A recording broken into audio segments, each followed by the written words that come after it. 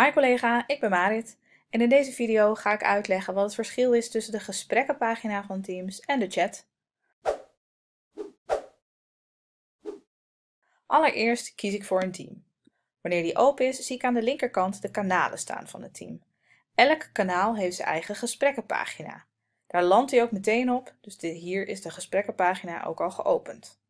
Wanneer ik hier praat, kan iedereen die toegevoegd is aan dit kanaal het lezen. Ook wanneer ik me richt tot één specifieke collega.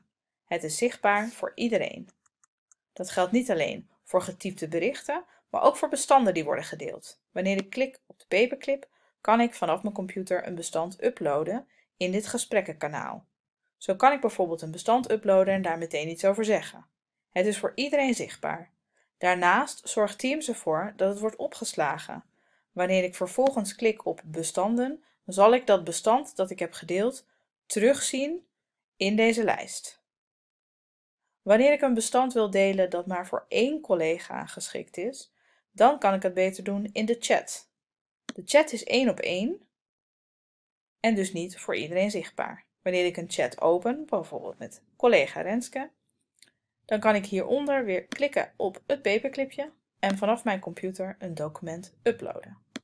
Wanneer ik daar dan voor kies en die open, dan is die alleen voor Renske te lezen.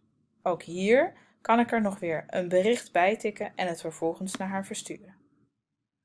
Wanneer ik dat dan heb gedaan, en misschien ook vaker heb gedaan, kan ik later in de chat bij bestanden zien welke bestanden wij onderling hebben gedeeld met elkaar. Dat is alleen voor ons zichtbaar en niet voor andere collega's. Dat is het grote verschil tussen de chat en de gesprekkenpagina. Tot de volgende video.